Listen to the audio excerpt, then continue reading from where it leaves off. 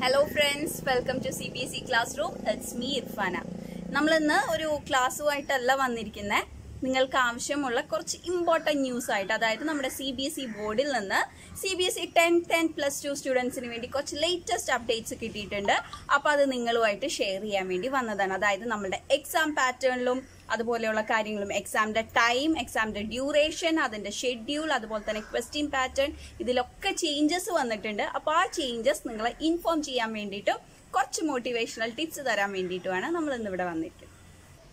അപ്പോൾ നിങ്ങളുമായിട്ട് important points share ചെയ്യുന്നതിന്റെ ഇടയ്ക്ക് പോയിന്റ്സ് ഒന്നും മിസ് ആവേണ്ടെന്ന് കരുതി ടൈപ്പ് ചെയ്ത് ഫോണിൽ കരുതിയതാണ്. ഓക്കെ അപ്പോൾ നമുക്ക് നോക്കാം. ഫസ്റ്റ് നിങ്ങളടുത്ത് ഷെയർ ചെയ്യാനുള്ളത് നമ്മുടെ ഈ വർഷത്തെ ടെൻത്ത് ആൻഡ് ട്വൽത്ത് ബാച്ച് അതായത് two thousand twenty one two two thousand twenty two ഈ ഒരു അക്കാഡമിക് ബാച്ചിലെ ടെൻത്ത് ആൻഡ് പ്ലസ് ടു സ്റ്റുഡൻസിന്റെ ഫൈനൽ എക്സാം അഥവാ ബോർഡ് എക്സാം ടു ടേംസിലായിട്ട് നടത്താൻ തീരുമാനിച്ചിരിക്കുകയാണ്. ഓക്കെ നമ്മൾ ഇത്ര നാളും എഴുതിയിരുന്നത് എങ്ങനെയാണ്?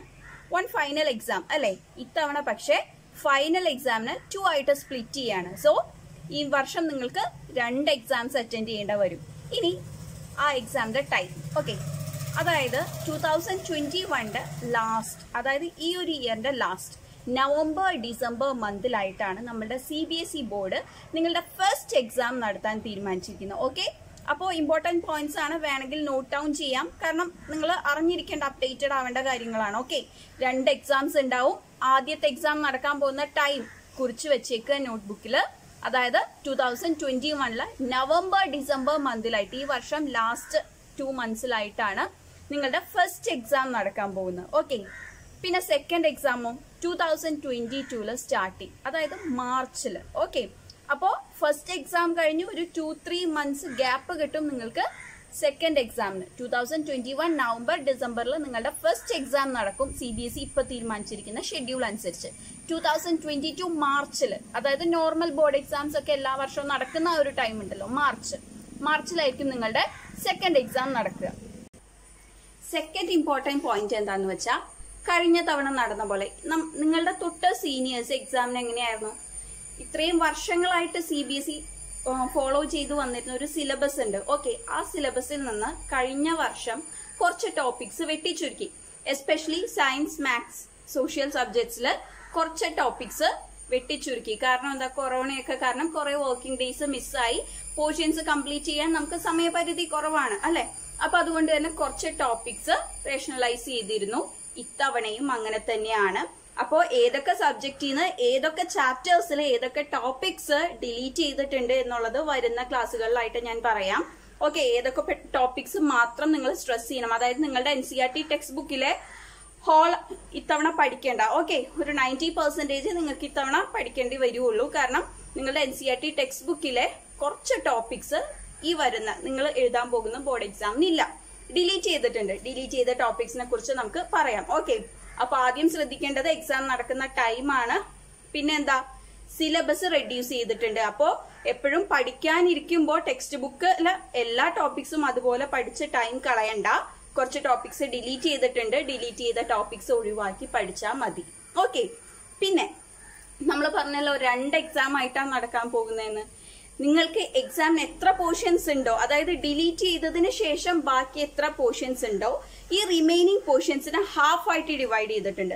ഫിഫ്റ്റി ഫിഫ്റ്റി പെർസെന്റേജ് എക്സാംസിന് ഉണ്ടാവുള്ളൂ. അതായത് ഇത്രയും വർഷങ്ങളിൽ എങ്ങനെയായിരുന്നു? ബോർഡ് എക്സാമിന് ഹോൾ ടോപ്പിക്സ് പഠിക്കണം അല്ലെ? ദ എന്റയർ സിലബസ് ഫൈനൽ എക്സാമിന് പഠിക്കണം. നമ്മൾ ഒരുമിച്ച് എക്സാം എഴുതും.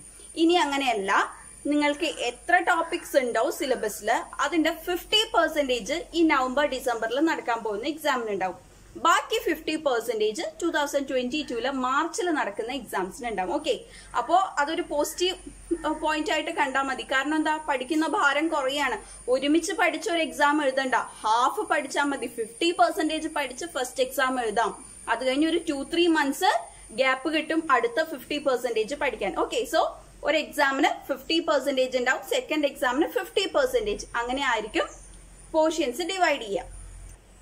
അതുപോലെ തന്നെ നിങ്ങളുടെ തൊട്ട് സീനിയേഴ്സിന്റെ എക്സാം വരെ കഴിഞ്ഞ ബോർഡ് എക്സാം വരെ എങ്ങനെയായിരുന്നു? തവണ ബോർഡ് എക്സാം നടന്നില്ല നമുക്കറിയാം. എങ്ങനെയായിരുന്നു മാർക്ക് ഡിസ്ട്രിബ്യൂഷൻ എന്നൊക്കെ അല്ലേ? അതിന് തൊട്ട് മുമ്പ് വരെയും ഈ ഒരു പാൻഡമിക് സ്പ്രെഡ് ആവുന്ന വരെയും എങ്ങനെയായിരുന്നു എക്സാമിന് അപ്പോ ഇത്ര നാളും നമ്മൾ എക്സാംസിന് അതായത് നിങ്ങൾക്ക് തൊട്ട് മുമ്പുള്ള സീനിയേഴ്സിന്റെ വരെ ഫൈനൽ എക്സാമിന് ഫുൾ കോൺസെൻട്രേഷൻ കൊടുക്കും. അത്ര നാളും സ്കൂളിൽ വാങ്ങിയ അതായത് സ്കൂളിൽ നിങ്ങൾക്ക് ടേം എക്സാം അല്ലേ? ടേം എക്സാംസ് ഒക്കെ നടത്തും. മിഡ് ടേം എക്സാംസ് നടത്തും ടെസ്റ്റ് പേപ്പേഴ്സ് നടത്തും. അതിന്റെ ഒന്നും മാർക്ക് ബോർഡ് എക്സാമിനെ ബാധിച്ചിരുന്നില്ല. അതുപോലെ തന്നെ നിങ്ങൾക്ക് പ്രോജക്ട് വർക്ക്സ് ഉണ്ടാവും. ഇന്റേണൽ അസസ്മെന്റ്സും കാര്യങ്ങളൊക്കെ കാണും. പക്ഷേ നിങ്ങളുടെ ഫൈനൽ എക്സാമിന്റെ പെർഫോമൻസ് മാർക്കിനെ ബേസ് ചെയ്ത് തന്നെയായിരുന്നു ഇത്ര നാളും മാർക്ക് കിട്ടിയിരുന്നത്. ഇനി അങ്ങനെയല്ല.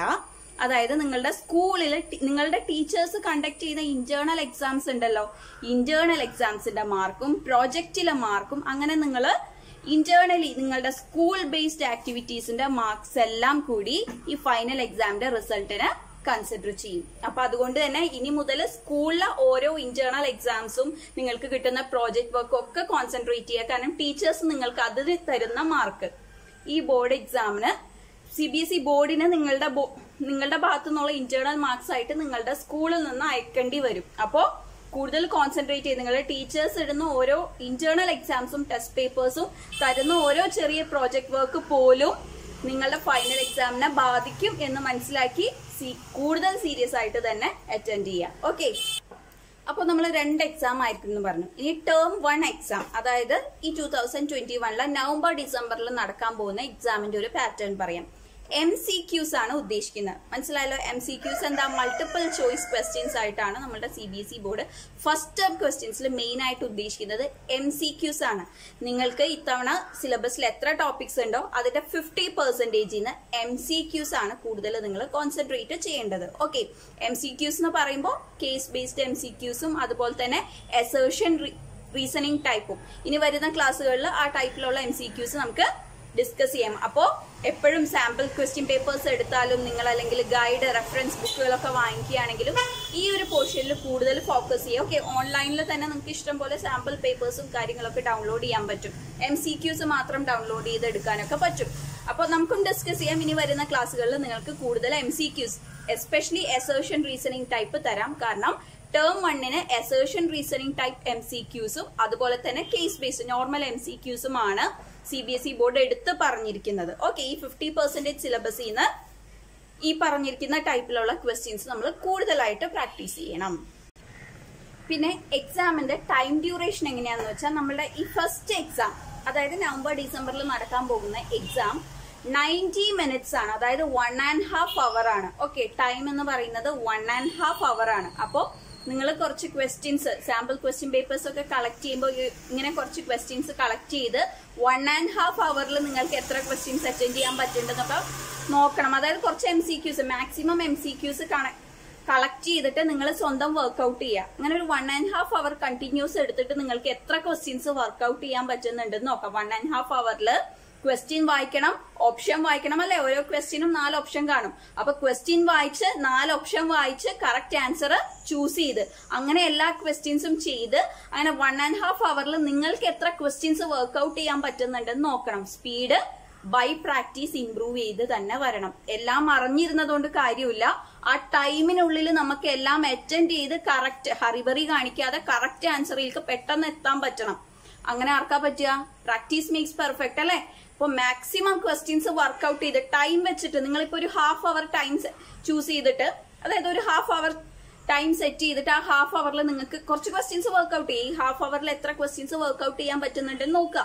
പിറ്റത്തെ ദിവസം വൺ അവർ ചെയ്യുക വൺ ആൻഡ് ഹാഫ് അവർ ചെയ്യുക. അങ്ങനെ ടൈം ഡ്യൂറേഷനും നിങ്ങളുടെ സ്പീഡും കൂട്ടി കൂട്ടി പ്രാക്ടീസ് ചെയ്തുകൊണ്ട് തന്നെ ഇരിക്കുക. ഓക്കെ കാരണം എസേർഷൻ റീസണിങ് ടൈപ്പ് ഒക്കെ നമുക്ക് അറിയാലോ എല്ലാം വായിച്ച് നോക്കി ഒരു ആൻസറിലേക്ക് എത്താൻ ടൈം എടുക്കും. പിന്നെ അത്രയും നമ്മൾ ക്ലിയർ ആയിട്ട് പഠിച്ചിട്ടുണ്ടാവണം കൺസെപ്റ്റ് ഓക്കെ അപ്പൊ ninety minutes one and half hour ആണ് ടൈം ഡ്യൂറേഷൻ പഠിക്കുമ്പോൾ പ്രാക്ടീസ് ചെയ്യുമ്പോൾ ഈ ടൈം മനസ്സിൽ കരുതുക പിന്നെ സെക്കൻഡ് എക്സാം ഓക്കെ അപ്പോൾ ഫസ്റ്റ് എക്സാമിന്റെ കാര്യം നമ്മൾ പറഞ്ഞു. ഫിഫ്റ്റി പെർസെന്റ് സിലബസ് ആണ്. എം സി ക്യൂസ് ആണ് കൂടുതൽ കോൺസെൻട്രേറ്റ് ചെയ്യുന്നത്. വൺ ആൻഡ് ഹാഫ് അവർ ആയിരിക്കും.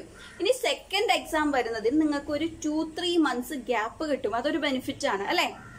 ബാക്കി ഫിഫ്റ്റി പെർസെന്റേജ് സിലബസ് പഠിക്കാൻ. അതായത് മാർച്ച് ഏപ്രിലൊക്കെ ആയിട്ടായിരിക്കും. ടൂ തൗസൻഡ് ട്വന്റി ടുവിലെ മാർച്ച് ഏപ്രിലൊക്കെ ആയിട്ടായിരിക്കും സെക്കൻഡ് എക്സാം നടക്കുന്നത് ഡിസ്ക്രിപ്റ്റീവ് എക്സാം ആണ്. അതിൽ ഏതെല്ലാം ടൈപ്പ് ക്വസ്റ്റ്യൻസ് കാണും? കേസ് ബേസ്ഡ് ക്വസ്റ്റ്യൻസും സിറ്റുവേഷൻ ബേസ്ഡ് ക്വസ്റ്റ്യൻസും അതുപോലെ തന്നെ ഷോർട്ട് ആൻസർ ഷോർട്ട് ആൻസർ എന്ന് പറയുമ്പോൾ ടു മാർക്സിന്റെയും ത്രീ മാർക്സിന്റെയും ക്വസ്റ്റ്യൻസ് അതുപോലെ തന്നെ five mark questions long answer type questions ഒക്കെ കാണും. അപ്പൊ ഈ എല്ലാ ടൈപ്പ് ക്വസ്റ്റ്യൻസും വരുന്ന ക്ലാസ്സുകളിൽ നമുക്ക് എല്ലാ ചാപ്റ്ററിനെയും ബേസ് ചെയ്ത് ചെയ്യാം. ഓക്കെ അപ്പോൾ സെക്കൻഡ് എക്സാം ഡിസ്ക്രിപ്റ്റീവ് ആയിരിക്കും. ഇങ്ങനെ എല്ലാ ടൈപ്പും ഷോർട്ട് ഷോർട്ട് ആൻസർ ക്വസ്റ്റ്യൻസും ലോങ് ആൻസർ ക്വസ്റ്റ്യൻസും സിറ്റുവേഷൻ ബേസ്ഡ് ക്വസ്റ്റ്യൻസും എല്ലാം കാണും. ഇനി സെക്കൻഡ് എക്സാമിന്റെ ടൈം ഡ്യൂറേഷൻ എങ്ങനെയാ? ടു അവേഴ്സ് ആണ് ഓക്കെ സെക്കൻഡ് എക്സാമിന് ടു അവേഴ്സ് ആണ്. പിന്നെ ഇതിന് ഒരിക്കലും ഫസ്റ്റ് എക്സാം ഇങ്ങനെ പോട്ടെ. സെക്കൻഡ് എക്സാം കോൺസെൻട്രേറ്റ് ചെയ്യാം എന്ന് ആരും വിചാരിക്കരുത്. കാരണം ഫസ്റ്റ് എക്സാമിന്റെയും സെക്കൻഡ് എക്സാമിനെയും ഒരുപോലെ കൺസിഡർ ചെയ്യും നിങ്ങളുടെ ഫൈനൽ എക്സാമിന് ഓക്കെ നിങ്ങളുടെ ഓവറോൾ പെർഫോമൻസ് ആയിരിക്കും. നിങ്ങളുടെ ടെൻത്ത് റിസൾട്ട് ആയിട്ട് വരാൻ പോകുന്നത്. നിങ്ങൾ സ്ഥിരമായിട്ട് കേൾക്കുന്ന ഒരു ഡയലോഗ് ആയിരിക്കും ടെൻത്ത് സ്റ്റാൻഡേർഡ് അങ്ങോട്ട് ആയിക്കഴിഞ്ഞാൽ ജീവിതത്തിന്റെ ടേണിംഗ് പോയിന്റ് ആണ് അല്ലെ? ടീച്ചേഴ്സ് പറയും പാരന്റ്സ് പറയും എല്ലാവരും പറഞ്ഞ് വെറുപ്പിക്കുന്ന ഒരു പോയിന്റ് ആണ്. ലൈഫിന്റെ ടേണിംഗ് പോയിന്റ് ആണ്. ശരിക്കും അതൊരു ടേണിംഗ് പോയിന്റ് ആണ് കേട്ടോ കാരണം ഇനി അങ്ങോട്ട് നമ്മൾ എത്ര എഡ്യൂക്കേഷൻ നേടിയാലും പ്ലസ് ടു ഡിഗ്രി ഇനി എന്താ പറയാ നിങ്ങൾ പ്രൊഫഷണൽ ഡിഗ്രി എടുത്താലും എന്തെടുത്താലും നിങ്ങൾ നാളെ ഒരു ജോബിന് പോകുമ്പോൾ നിങ്ങളുടെ അപ്ലിക്കേഷനിൽ ടെൻത്തിലെ മാർക്ക് എഴുതണം. അവിടെ നമുക്ക് അഭിമാനത്തോടെ ഐ സ്കോർഡ് ദിസ് മച്ച് എന്ന് പറഞ്ഞാൽ നമുക്ക് എഴുതാൻ പറ്റണം. ഓക്കെ ഡിസ്റ്റിൻഷൻ അല്ലെങ്കിൽ ninety percentage full A plus എന്നൊക്കെ പറഞ്ഞാൽ നമുക്ക് അഭിമാനത്തോടെ ടെൻത്തിൽ ഇത്ര സ്കോർ ചെയ്തു എന്ന് നമുക്ക് എഴുതാൻ പറ്റണം. സോ ഇറ്റ് ഡിസൈഡ്സ് അതായത് നമ്മുടെ ഒരു ഇന്റർവ്യൂവിനോ എന്തിനോ നമ്മൾ പോയി കഴിഞ്ഞാലും അത് അവർ കൗണ്ട് ചെയ്യും. സോ നമ്മളെ ടെൻത്തിലെ മാർക്ക് ഇമ്പോർട്ടന്റ് ആണ്. ഒരു തരത്തിൽ പറഞ്ഞാൽ ടേണിംഗ് പോയിന്റ് തന്നെയാണ്. പക്ഷെ ഒരു കാര്യം എപ്പോഴും ഓർക്കുക. A single piece of paper cannot decide your future അപ്പൊ എന്തെങ്കിലും ഒന്നിൽ എപ്പോഴെങ്കിലും നമ്മൾ വിചാരിച്ചത്ര നേടാനായില്ലെങ്കിൽ don't worry a single piece of paper cannot decide your future okay പക്ഷെ ഒന്നിൽ തോറ്റാൽ അടുത്തതിൽ വിജയിക്കണം. അത്രേ ഉള്ളൂ. അപ്പോൾ നമ്മൾ പറഞ്ഞു വന്നത് എന്തായിരുന്നു? സെക്കൻഡ് എക്സാമിന്റെ കാര്യം. സെക്കൻഡ് എക്സാം ഡെസ്ക്രിപ്റ്റീവ് ആയിരിക്കും ടു അവേഴ്സ് ആയിരിക്കും. ഡിഫറെന്റ് ടൈപ്സ് ഓഫ് ക്വസ്റ്റ്യൻസും നമ്മൾ പറഞ്ഞു. ഓക്കെ ഷോർട്ടും ലോങ് ആൻസറും അതുപോലെ തന്നെ ഈ സിറ്റുവേഷൻ ബേസ്ഡ് ക്വസ്റ്റ്യൻസ് ഒക്കെ നമ്മൾ N C R T text ബുക്കിൽ പ്രാക്ടിക്കൽസ് ഉണ്ടല്ലോ. അതായത് കുറെ പ്രാക്ടിക്കൽ എക്സാമ്പിൾസ് തന്നിട്ടുണ്ട് അതിനെയൊക്കെ ബേസ് ചെയ്ത് പഠിക്കണം. നമുക്ക് ഇനി വരുന്ന ക്ലാസ്സുകളിൽ ചെയ്യാം. പിന്നെ എല്ലാ കാര്യത്തിനും ഒരു പ്ലാൻ എയും പ്ലാൻ ബിയും കാണുമല്ലോ അല്ലെ? ഈ ഇത്തവണ എക്സാമിന്റെ കാര്യത്തിൽ നമ്മുടെ സി ബി എസ് ഇ ബോർഡിനും അതുപോലെ പ്ലാൻ എയും പ്ലാൻ ബിയും പ്ലാൻ സിയും ഉണ്ട്. കേട്ടോ? കാരണം ഇത്തവണ നമുക്കറിയാം നിങ്ങളുടെ തൊട്ട് സീനിയേഴ്സ് എക്സാംസ് ലാസ്റ്റ് മൊമെന്റ് വരെയും എക്സാം ഉണ്ടെന്ന് കരുതി പിന്നെ ക്യാൻസൽ ചെയ്യേണ്ട വന്നു. ആകെ ഒരു കൺഫ്യൂസ്ഡ് ആയിരുന്നു അല്ലെ അവരുടെ എക്സാം ടൈമിൽ സോ അതില്ലാതിരിക്കാൻ നിങ്ങളുടെ കാര്യത്തിൽ ഇനി എല്ലാം പെർഫെക്റ്റ് ആയിരിക്കാൻ വേണ്ടി നമ്മുടെ സി ബി എസ് ഇ ബോർഡിന് വ്യക്തമായിട്ട് പ്ലാൻ എയും ബിയും സിയും എല്ലാം ഉണ്ട്. അതായത് ഈ നവംബർ ഡിസംബറും അതുപോലെ തന്നെ അടുത്ത എക്സാം നടക്കാൻ പോണ മാർച്ച് ഏപ്രിൽ ഈ ടൈമിലൊക്കെ നമ്മളുടെ ഈ കോവിഡ് പാൻഡമിക് ഒക്കെ ഒതുങ്ങി സിറ്റുവേഷൻ ഇംപ്രൂവ് ചെയ്യാണ്. എവറിത്തിങ് ഓക്കെ ആണെങ്കിൽ നിങ്ങൾക്ക് സ്കൂളിൽ പോവാനും അല്ലെങ്കിൽ നിങ്ങളുടെ എക്സാം സെന്ററുകളിൽ പോവാനും എക്സാം പോയി എഴുതാനും പറ്റുന്ന സിറ്റുവേഷൻ ആണ്. അതായത് ടേം വണ്ണും ടേം ടൂവും രണ്ട് എക്സാംസും പ്രോപ്പർ ആയിട്ട് സ്കൂളിലും എക്സാം സെന്റേഴ്സിലും ഒക്കെ നടത്താൻ പറ്റിയാൽ രണ്ട് എക്സാമിനും ഒരുപോലെ തന്നെ ഇമ്പോർട്ടൻസ് ആയിരിക്കും. വെയിറ്റേജ് അതായത് മാർക്കിന്റെ വെയിറ്റേജ് ഒരുപോലെ ആയിരിക്കും. ഇനി ബൈ ചാൻസ് ഈ നവംബർ ഡിസംബർ ആകുമ്പോഴേക്കും നമുക്കറിയാം പ്രത്യേകിച്ച് ഹോപ്പൊന്നും വേണ്ട ഈ സിറ്റുവേഷൻ ഇമ്പ്രൂവ് ആവുമെന്ന് അല്ലെ? അങ്ങനെയാണെങ്കിൽ അതായത് നവംബർ ഡിസംബറിൽ സ്കൂളുകളിൽ പോയിട്ട് നിങ്ങൾക്ക് എക്സാം എഴുതാൻ പറ്റില്ല. C B S E online ആയിട്ട് എക്സാം കണ്ടക്ട് ചെയ്യേണ്ട വരിക. അതായത് നിങ്ങൾ നിങ്ങളുടെ വീട്ടിൽ തന്നെ ഇരുന്ന് ഓഫ്ലൈൻ ആയിട്ടോ ഒക്കെ എക്സാം അറ്റൻഡ് ചെയ്യേണ്ട വരികയാണെങ്കിൽ. പക്ഷെ മാർച്ച് ഏപ്രിൽ ആകുമ്പോഴേക്കും ഒക്കെ ഓക്കെ ആയി. സെക്കൻഡ് എക്സാം നിങ്ങൾക്ക് സ്കൂളിൽ പോയിട്ട് എഴുതാനും പറ്റുകയാണെങ്കിൽ ഓക്കെ ഞാൻ പറയുന്നത് ശ്രദ്ധിച്ചോളൂ അതായത് ആദ്യത്തെ എക്സാം നിങ്ങൾക്ക് ഓൺലൈനായിട്ടും വീട്ടിലിരുന്ന് അറ്റൻഡ് ചെയ്യാനും രണ്ടാമത്തെ എക്സാം ആകുമ്പോഴേക്കും ടൂ തൗസൻഡ് ട്വന്റി ടു ആകുമ്പോഴേക്കും ഈ കോവിഡ് സിറ്റുവേഷൻ ഒക്കെ മാറി സ്കൂളിൽ പോയിട്ട് എഴുതാൻ പറ്റുകയാണെങ്കിൽ ഇങ്ങനെയാണ് നടക്കുന്നതെങ്കിൽ നിങ്ങളുടെ ടേം ടൂവിന് വെയിറ്റേജ് കൂടും. നിങ്ങളുടെ ഫൈനൽ റിസൾട്ടിൽ മാർക്ക് ഡിസ്ട്രിബ്യൂഷൻ അങ്ങനെ ആയിരിക്കും കാരണം എന്താ? സ്കൂളുകളിൽ സെന്ററിൽ പോയിട്ട് നിങ്ങൾ എഴുതിയ എക്സാം അതായിരിക്കുമല്ലോ ഒരു പ്രോപ്പർ പ്രോപ്പറായ രീതിയിൽ എക്സാം കണ്ടക്ട് ചെയ്തിട്ടുണ്ടാവുക. അപ്പോൾ ഈ സെക്കൻഡ് എക്സാമിനായിരിക്കും വെയിറ്റേജ് കൂടുതൽ. അപ്പോൾ ആ എക്സാമിന് നന്നായിട്ട് പെർഫോം ചെയ്തവർക്ക് അതിനനുസരിച്ച് റിസൾട്ട് വാങ്ങിക്കാൻ പറ്റും. ഓക്കെ കാരണം ഫസ്റ്റിനേക്കാളും പ്രിഫറൻസ് മാർക്ക് വെയിറ്റേജും എന്തിനായിരിക്കും? സെക്കൻഡ് എക്സാമിനായിരിക്കും ഇനി തിരിച്ചാണെങ്കിൽ അതായത് നവംബർ ഡിസംബറിൽ പ്രോപ്പറായിട്ട് ഈ നവംബർ ഡിസംബർ ആയപ്പോഴേക്കും പാൻഡമിക് സിറ്റുവേഷൻ ഒക്കെ ഒതുങ്ങി. അങ്ങനെയാണെങ്കിൽ നിങ്ങളുടെ സ്കൂളുകളിൽ എക്സാം കണ്ടക്ട് ചെയ്യാൻ നിങ്ങൾക്ക് പോയി എക്സാം എഴുതാൻ പറ്റുകയാണ്. പക്ഷേ മാർച്ച് ഏപ്രിൽ ആകുമ്പോഴേക്കും ക്ലോസ് ചെയ്യാണ് അതായത് പോയി എഴുതാൻ പറ്റില്ല. ഈ സെക്കൻഡ് എക്സാം ഓൺലൈനാണ് നടത്തുന്നതെങ്കിൽ അങ്ങനെയാണെങ്കിൽ തിരിച്ചായിരിക്കും. ഫസ്റ്റ് എക്സാമിന്റെ മാർക്കിനായിരിക്കും പ്രിഫറൻസ് കൂടുതൽ അതിൽ നന്നായിട്ട് എഴുതിയ ആളുകൾക്കായിരിക്കും വെയിറ്റേജ് കൂടുതൽ വെയിറ്റേജ് കൂടുതൽ അതിനായിരിക്കും. ഇപ്പൊ നമുക്ക് പറയാൻ പറ്റില്ല സിറ്റുവേഷൻ എങ്ങനെയാ മാറി വരുന്നത് ഏത് എക്സാമും ഓൺലൈനായിട്ട് നടക്കാൻ പോകുന്നത് ഏത് എക്സാമാണ് നിങ്ങൾ സ്കൂളിൽ പോയിട്ട് അറ്റൻഡ് ചെയ്യേണ്ട വരുന്നതെന്ന് പറയാൻ പറ്റില്ല. അപ്പൊ ഏതിൽ പെർഫോം ചെയ്താലും രണ്ടിലും നന്നായിട്ട് പെർഫോം ചെയ്തവർക്ക് പേടിക്കാനില്ല. ഏതിനാണ് വെയിറ്റേജ് കൊടുക്കുന്നെങ്കിലും നമുക്ക് മാർക്ക് കിട്ടും. പിന്നെ സി ബി എസ് ഇ വേറൊരു ഓപ്ഷൻ കൂടി പറയുന്നുണ്ട്. അതായത് ഈ നവംബർ ഡിസംബറിലെ എക്സാം നടത്താൻ പറ്റി. അതായത് സ്കൂളുകളിൽ പ്രോപ്പറായിട്ട് എക്സാം നടത്താൻ പറ്റി. പക്ഷേ മാർച്ച് ആയപ്പോഴേക്കും എന്താ പറയുക സിറ്റുവേഷൻ വളരെ വേഴ്സ് ആയെങ്കിൽ ഒരു പക്ഷേ സെക്കൻഡ് എക്സാം നടത്തണമെന്നേ ഇല്ല. അതായത് ഓൺലൈൻ ആയിട്ടും നടത്തില്ല. പക്ഷേ പകരം എന്ത് ചെയ്യും? ഈ ഫസ്റ്റ് എക്സാമിന്റെ നിങ്ങൾ ഈ നവംബർ ഡിസംബറിൽ എഴുതുന്ന എക്സാമിന്റെ മാർക്സും പ്ലസ് നിങ്ങളുടെ ഇന്റേണൽ അസസ്മെന്റ് പ്രോജക്ട് ഇതിന്റെ എല്ലാം കൂടെ മാർക്സ് കൺസിഡർ ചെയ്തായിരിക്കും നിങ്ങളുടെ ഫൈനൽ റിസൾട്ട് വരുന്നത് ഓക്കെ മനസ്സിലായോ? അതായത് ഫസ്റ്റ് എക്സാമിന് നല്ല രീതിയിൽ അറ്റൻഡ് ചെയ്യാൻ പറ്റാത്തവർക്ക് ഒരു സെക്കൻഡ് ചാൻസ് കിട്ടിയെന്ന് വരില്ല. അതായത് സെക്കൻഡ് ടേമിലെ എക്സാം ഒരു പക്ഷേ ക്യാൻസൽ ആയേക്കാം. ഫസ്റ്റ് എക്സാമും അതായത് നവംബർ ഡിസംബറിൽ നടക്കുന്ന എക്സാം മാത്രമേ ഉണ്ടാവുള്ളൂ. അപ്പൊ നിങ്ങളുടെ മാർക്ക് അതായത് ഫൈനൽ റിസൾട്ട് വരുന്നത് എന്തിനെല്ലാം ബേസ് ചെയ്തായിരിക്കും? ഈ നവംബർ ഡിസംബറിൽ നടന്ന എക്സാം പ്ലസ് സ്കൂളുകളിൽ കണ്ടക്ട് ചെയ്ത എക്സാം ഈ സെക്കൻഡിലെ മാർച്ച് ഏപ്രിൽ എക്സാം ഉണ്ടാവില്ല. അത് ഒരു ചാൻസ് ആണ് പറഞ്ഞിരിക്കുന്നത്. ഓക്കെ ഇതിൽ അതായത് ഏത് കാര്യത്തിനും ഉള്ള പോലെ തന്നെ നമ്മൾ C B S E board different plans different strategies എടുത്തിരിക്കുന്നതാണ്. അപ്പൊ ഇതിൽ എന്തായിരിക്കും നമുക്ക് പറയാൻ പറ്റില്ല. സിറ്റുവേഷൻ ഇസ് ചേഞ്ചിങ് അപ്പൊ എന്ത് തന്നെയായാലും രണ്ട് എക്സാമിനും നല്ല രീതിയിൽ പ്രിപ്പയർ ചെയ്യാൻ പറ്റുന്ന രീതിയിൽ. ഓക്കെ രണ്ട് എക്സാമും നല്ല രീതിയിൽ അറ്റൻഡ് ചെയ്യാൻ പറ്റുന്ന രീതിയിൽ നന്നായിട്ട് പ്രിപ്പയർ ചെയ്യാം. ഓക്കെ പിന്നെ പല കുട്ടികളും എന്റെ അടുത്ത് മോട്ടിവേഷണൽ വീഡിയോ ചെയ്യും. മിസ്സെ പഠിക്കാൻ ഒരു എനർജി കിട്ടുന്നില്ല. ആകെ ഒരു നെഗറ്റീവ് എനർജി അല്ലെങ്കിൽ പഠിക്കാൻ ഇൻസ്പിറേഷൻ തോന്നാൻ മോട്ടിവേഷൻ തോന്നാൻ ടീച്ചർ എന്തെങ്കിലും കാര്യങ്ങളൊക്കെ പറഞ്ഞ് വീഡിയോ ഇടണമെന്ന് പറഞ്ഞിരുന്നു.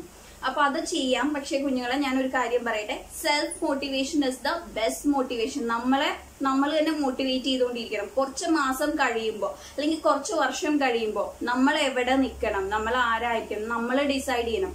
എന്നിട്ട് ആ ഡിസിഷനിലോട്ട് എത്താനുള്ള വർക്ക് അത് നമ്മുടെ ഉള്ളിൽ നിന്ന് വരണം. ഓക്കെ അപ്പൊ എന്തായാലും നമുക്ക് ഇനി സിസ്റ്റമാറ്റിക് ആയിട്ട് പഠിക്കണം. ഒരു ടൈം ടേബിൾ ഒക്കെ സെറ്റ് ചെയ്ത് പഠിക്കണം. അപ്പോൾ ഒരുപാട് കുട്ടികൾ ടൈം ടേബിൾ സെറ്റ് ചെയ്ത് തരുമോ എന്ന് ചോദിച്ചിരുന്നു. അപ്പൊ എന്തായാലും നിങ്ങൾക്ക് കംഫർട്ടബിൾ ആയിട്ടുള്ള ഒരു ടൈം ടേബിൾ ഞാൻ സെറ്റ് ചെയ്യാം. അപ്പോൾ അടുത്ത വരുന്ന ദിവസങ്ങൾ ഒരാഴ്ചക്കുള്ളിൽ ഒരു പ്രോപ്പർ ടൈം ടേബിൾ സെറ്റ് ചെയ്ത് ഞാൻ തരാം. ആ ടൈം ടേബിളിനനുസരിച്ച് ഞാൻ ക്ലാസ്സസും പ്രൊവൈഡ് ചെയ്യാം. അത് കറക്റ്റ് ആയിട്ട് ഫോളോ ചെയ്ത് പോകുക എക്സാം വരെ. ഓക്കെ അപ്പോൾ അതിന്റെ ഒരു ഔട്ട്പുട്ട് റിസൾട്ട് നമുക്ക് കിട്ടും. അപ്പൊ ഞാൻ ടൈം ടേബിൾ സെറ്റ് ചെയ്തത് ഇടാം.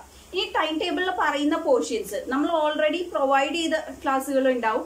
അല്ല എന്നുണ്ടെങ്കിൽ ഞാൻ ഈ ടൈം ടേബിളിൽ പറയുന്ന പോർഷൻസ് ഞാൻ ക്ലാസ് ചെയ്തിട്ടില്ലെങ്കിൽ ആ ഒരു ടൈമിൽ തന്നെ ക്ലാസ് ചെയ്യാം.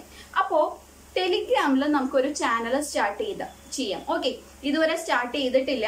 അപ്പോൾ ടെലിഗ്രാമിലെ ചാനൽ സ്റ്റാർട്ട് ചെയ്തതിന് ശേഷം ഞാൻ നിങ്ങളെ അറിയിക്കാം. അതായത് നിങ്ങൾക്ക് ഞാൻ ടൈം ടേബിൾ സെറ്റ് ചെയ്ത് തരുമല്ലോ അപ്പൊ ഈ ഡെയിലി പഠിക്കാനുള്ള പോർഷൻസ് ഞാൻ ആ ചാനലിലൂടെ അതായത് നമ്മുടെ ടെലിഗ്രാം ചാനലിലൂടെ നിങ്ങൾക്ക് തരാം. ഡെയിലി പഠിക്കാനുള്ള പോർഷൻസ് തരാം. ആ പോർഷൻസ് ബേസ് ചെയ്ത് ഞാൻ ചെയ്ത ക്ലാസ് അത് നിങ്ങൾ ചാനലിൽ കയറി സെർച്ച് ചെയ്ത് ബുദ്ധിമുട്ടൊന്നുമില്ല. ഞാൻ പോർഷൻസും തരാം പഠിക്കാനുള്ള പോർഷൻസും തരാം.